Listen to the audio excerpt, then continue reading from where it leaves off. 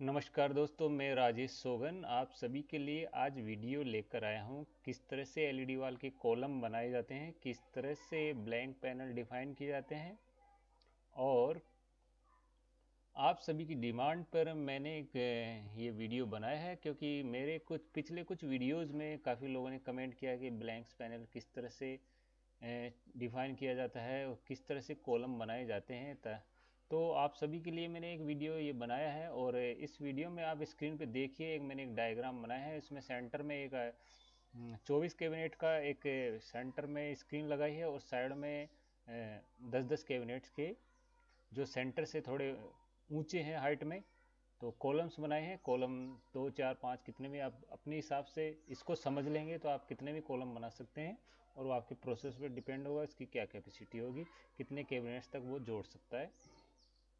तो एक basic video है, किस तरह से अपन कॉलम्स बनाएँ, किस तरह से ब्लैंक पैनल्स को डिफाइन करना है।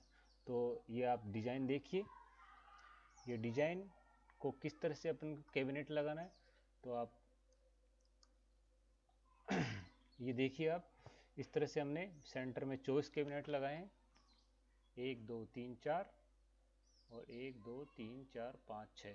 छः बाई चार कैबिनेट चौबीस कैबिनेट तो ये हैं, और कॉलम दो और एक, दो, तीन, चार, पाँच मतलब दस दस इधर है, दस इधर है, और बीच में चौबीस टोटल चौवालीस कैबिनेट है, और अब इसका कनेक्शन कैसे देना है। पावर तो आप लगा दोगे, और सिग्नल किस तरह से देना है? सिग्नल के लिए मैं आपको ये डायग्राम बनाया है। सिग्नल आपको इस तरह से करना है।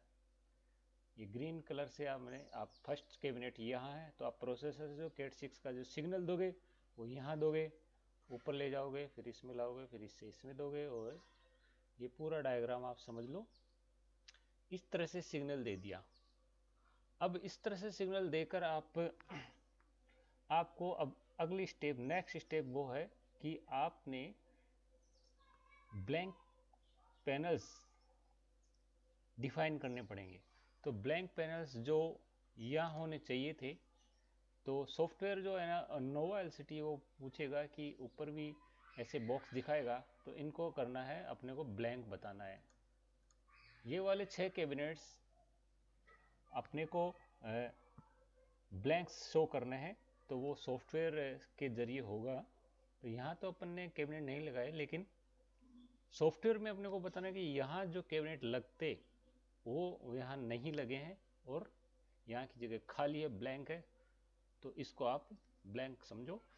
और इस तरीके से आप अगर सॉफ्टवेयर में बताएँगे कि मैंने ये जो ग्रीन वाली तरीके से मैंने सिग्नल आज कैबिनेट्स में जोड़ा है और ये जो स्काई ब्लू का जो ये ब्लैंक पैनल ये ब्लैंक पैनल तो अगर आप इस तरह से कनेक्शन करोगे और सॉफ्टवेयर में समझाएँगे तो आपकी एलईडी एक बार में जुड़ जाएगी, आपको किसी तरह की परेशानी नहीं आएगी। ये टोटल चौवालीस कैबिनेट है। तो अब मैं आपको ये जो सारा डायग्राम है, वो मैं आपको बता देता हूँ सॉफ्टवेयर नोवा एल में किस तरह से होता है।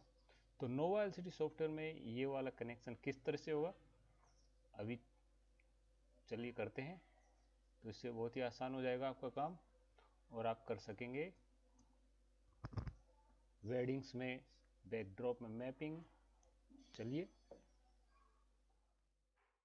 हाँ तो फ्रेंड्स हम आ गए हैं नोवाल सिटी सॉफ्टवेयर और हम बताएँगे आज की हमारे जो कैबिनेट्स की सेटिंग है, किस तरह से हम इसको समझाएँगे सॉफ्टवेयर में किस तरह से डिफाइन करेंगे ब्लैंक कैबिनेट्स तो अपन स्टार्टिंग सबसे पहले देखेंगे। यहाँ पर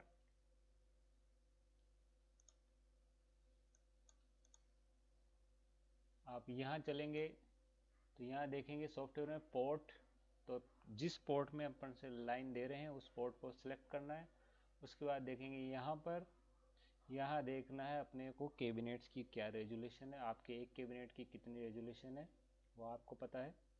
उसके बाद में आप सीधा यहाँ आएँगे ऊपर। यहाँ पे अपन ने कॉलम्स डालने हैं, कितने टोटल हमने दस कॉलम हैं। और रो कितनी है अपनी पाँच। यहाँ रीसेट ऑल पे क्लिक कर देंगे। फिर हम क्या करेंगे? जैसे आपको टोटल यहाँ आ गए पचास कैबिनेट एक, दो, तीन, चार, पाँच और दस की लाइन अब अपने को स्टार्टिंग करनी है यहाँ से। क्योंकि सामने से हम जिधर से देखेंगे कि मैंने फ़ोटो में दिखाया था, उसमें बाएँ तरफ़ से कनेक्शन आ रहा था, क्योंकि हम कैबिनेट के पीछे खड़े थे। लेकिन जब इसको जो समझाएँगे, वो हम कैबिनेट के सामने से समझाएँगे कि किस तरह से हमारा कनेक्शन तो अगर उस जो मैंने डायग्राम है, उसमें सामने खड़े होंगे तो वो दाएँ तरफ़ का सिग्नल हो जाएगा। तो पहला कैबिनेट इधर आएगा वो, फिर दूसरा, तीसरा, चौथा, पाँचवा, छठा, सातवां, आठवां, नौवा, दसवां। दस कैबिनेट हो गए, एक कॉलम कंप्लीट हुआ फिर बीच वाली स्क्रीन एक, दो, तीन, चार, पाँच छः सात, आठ, नौ, दस, ग्यारह, बारह, पंद्रह, सोलह। चौबीस कैबिनेट हो गए सेंटर वाली स्क्रीन भी हो गई। अभी आखिरी का कॉलम एक, दो, तीन, चार, पाँच छ सात, आठ, नौ, दस। यहाँ तक अपन ने एंड कर दिया है। सिग्नल हमने इस तरह से दिया था। अब सीधे ब्लैंक कैबिनेट पे चलेंगे। ये वाला। यहाँ पे हमने कैबिनेट नहीं लगाए थे तो यहाँ पे इसको बताना है कि यहाँ पे खाली जगह है ब्लैंक है। अब ये जो ऑप्शन आ रहा है, यहाँ पे आप देखिए। यहाँ। यहाँ पर आप देखिए, इस पर क्लिक करते ही।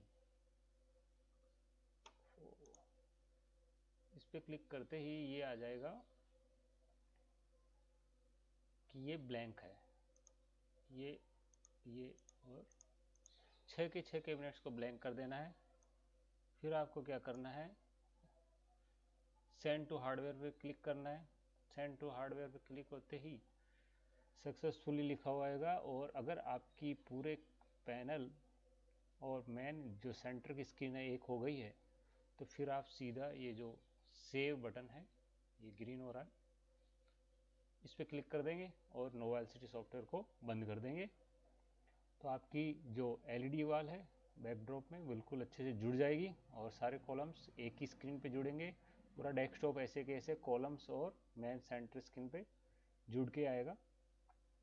तो इस तरीके से आपने मेरे इस वीडियो में आप समझ गए होंगे किस तरह से पैनल्स कॉलम बनाए जाते हैं, किस तरह से लोग मैपिंग करते हैं वेडिंग्स में इवेंट्स में, शादियों में, संगीत में।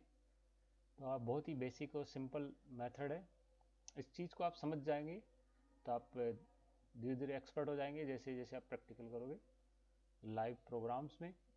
तो दोस्तों, मेरा वीडियो आपको कैसा लगा? अगर वीडियो अच्छा लगा है, आपको मेरी ये जो ट्यूटोरियल्स आपको टिप्स जो मैंने बताई है, वो आपको अच्छे लगे हैं तो आप कमेंट ज़रूर कीजिए और जल्दी मैं एक नई टिप्स लेकर आ रहा हूँ नए वीडियो में। तो तब तक के लिए नमस्कार दोस्तों बाय बाय